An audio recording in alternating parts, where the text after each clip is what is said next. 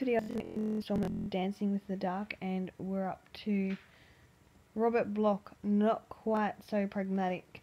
Shortly before we left for home, the Karloffs invited Ellie and me to spend the day with them at their summer cottage near Liphook. They picked us up at the station and conducted a guided tour of the quaint little English village, with Boris pointing out ye old this and ye old that. And look, he exclaimed, there's ye old Woolworths. The remark was typical, as was his warmth and lack of pretension, but for some odd reason Ellie was only able to address him as Mr. Karloff. Perhaps it was a carryover from childhood trauma after seeing the monster on screen. Call me Boris, he insisted, but fond of him as she was, to her they remained Mr. Karloff and Evie. While Mr. Karloff and I were occupied downstairs, Evie took Ellie upstairs for a thorough examination of the premises. Arthritic problems and a touch of acrophobia kept Boris grounded. Following luncheon, he and I repaired to the garden, which was bordered by a recently constructed wall. Boris had watched the work in progress and admired the handicraft of the artisan. Now that's a real contribution, he said. Long after you and I are dead and forgotten, that wall will still be there. Later, en route to the back to the station, the subject of mortality was touched upon again.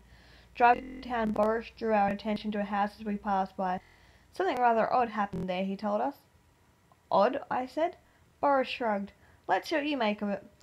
According to his story, the Karloffs were acquainted with friends who knew the woman occupying the house in question. One afternoon they came to call on her and were met at the door by a maid who invited them into the parlour until the lady of the house came downstairs. The maid left and the couple sat waiting. Perhaps five minutes passed before their hostess descended the hall staircase and entered the room. Halting there, she stared at them surprised. How did you get in here? she asked. The maid let us in. But I don't have a maid.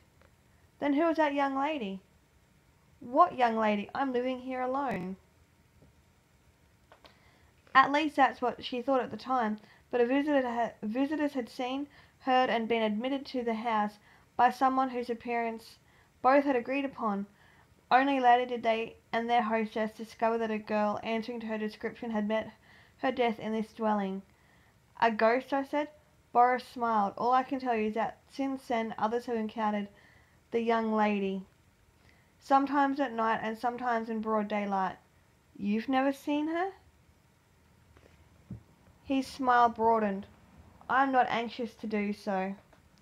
As for me, I have never seen a ghost, though some years ago author Charles Higham entertained Ellie and me in a home once belonging to playwright Vicki Baum.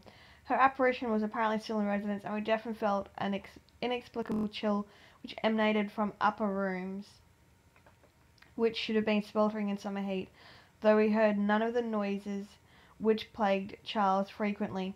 He soon sought quieter quarters. Only in recent years have I ceased being quite so much of a pragmatic, because I've encountered enough incidents of what you might call paranormal inexplic inexplicabilities to shake my composure.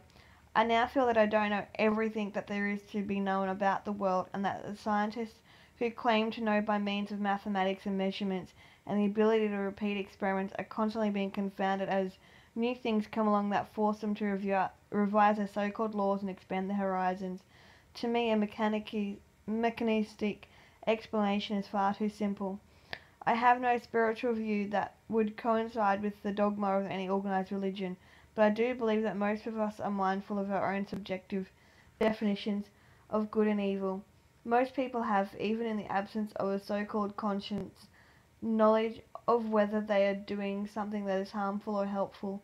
I don't know whether any of the conventional legends and mythologies and superstitions coincide with my notion of what constitutes good or evil, although I've read and heard enough about seemingly inexplicable events in which some of these concepts seem personified, cases of so-called possession, that sort of thing. I am not saying that I'm still window shopping, but I haven't closed my eyes. And that ends that installment of Dancing with the Dark.